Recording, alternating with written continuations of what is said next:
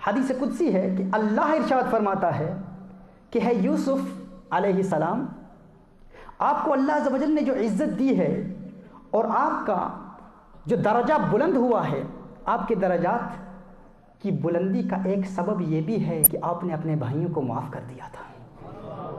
यानी हम समझते हैं कि अगर हम किसी को माफ़ नहीं करेंगे, बदला नहीं लेंगे, माफ़ कर देंगे तो लोग हमें कमज़ोर समझेंगे। हमारी इज़्ज़त में कमी वाक़ होगी। लेकिन अल्लाह इर्शाद फरमाता है कि जो मुआफ़ कर देता है, उसे अल्लाह इज़्ज़त अता फरमाता है। और इस आप सल्लल्लाहु अलैहि वसल्लम का फरमान अलीशान है। मेरे आका सल्लल्लाहु अलैहि वसल्लम ने सहाबा से इरशाद फरमाया, है सहाबा, क्या तुम जानते हो वो कौन सी इबादत है जिसकी फजीलत और सवाब नमाज़ से भी ज़्यादा है और सदका से भी ज़्यादा है? वो कौन सी इबादत है जिसका सवाब नमाज़ से भी ज़्यादा है और सदका देने से भी ज़्यादा है? साहबा ने अर्ज़ किया रसूल सल्लल्लाहु अलैहि वसल्लम, आप बता दीजिए, फरमा दीजिए, मेरे आपका सल्लल्लाहु अलैहि वसल्लम फरमाया, जब एक शख्स दो नाराज़ भाइयों को आपस में मिला देता है, अल्लाह अजल उसे नमाज़ से भी ज़्यादा स्वाब अदा फरमाता है और सदक़े से भी ज़्यादा स्वाब अदा फरमाता है। और कीजिए, एक शख्स पूरी रात नफली इबादत करता रहे, नवाफिल पढ़ता रहे, पूरा दिन अल्लाह की राह में सदका देता रहे, उसे वो सवाब नहीं मिलेगा। जो सवाब उस शख्स को मिलता है, जो दो नाराज़ भाइयों को मिला देता है। अब मिलाने की कुत और ज़रूरत और हिम्मत उसी को हासिल होती है, ये सलाहियत उसी को हासिल होती है जो ख़ुद भी अपने अंदर अपने दुश्मनों को माफ़ करने का जज्बा रखता है। जो अपने दुश्मनों को माफ़ नहीं करेगा, वो दूसरों में इतिहाद और इतफाक़ और प्यार कैसे पैदा करेगा? अब गौर कीजिए, यही वो जज्बा है जब इंसान को तकलीफ़ पहुँचती है। मिसाल के तौर पर इंसान को अच्छा काम कर रहा है, दीन का काम कर रहा है, इंसान का कारोबार अच्छा चल रहा है, नेक मकासद में कामयाबी हासिल हो रही है, कुछ रिश्तेदार आते हैं, उसके रास्ते में रुकावट खड़ी करने की कोशिश करते हैं हर्डल्स और ऑब्स्टिकल्स खड़ी करते हैं। वो सोचता है कि मुझे इन रिश्तेदारों की जानब से या दुश्मनों की जानब से ये फुला नुकसान पहुँचा है। अब मैंने इंतकाम लेना है। चूँकि जो ही नुकसान पहुँचता है तो इंसान के अंदर इंतकाम की आग और इंतकाम के शोले भड़क उठते हैं। इंसान कहता है, जब तक बदला नहीं लूँगा, उस वक्त तक मुझे सुकून नहीं मिलेगा।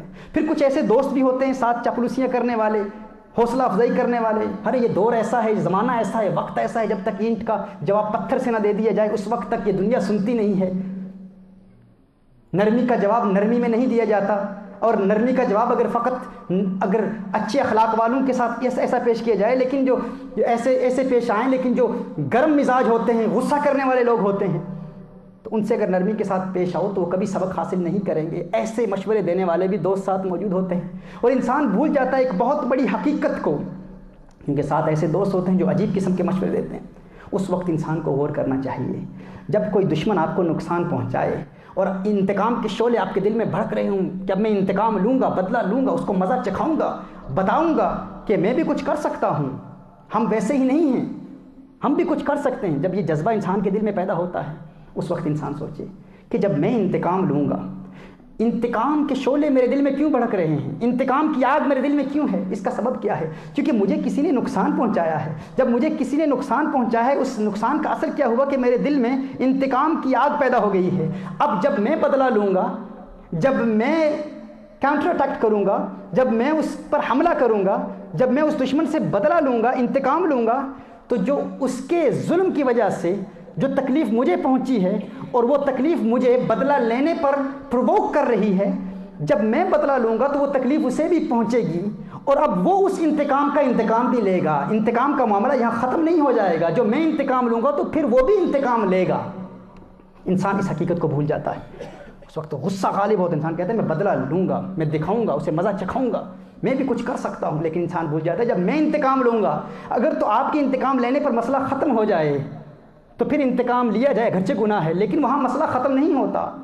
जब आप उसे तकलीफ़ पहुँचाएँगे तो वो भी बदला लेगा और फिर ये सिलसिला जारी रहेगा और इंसान को कभी सुकून हासिल नहीं होगा।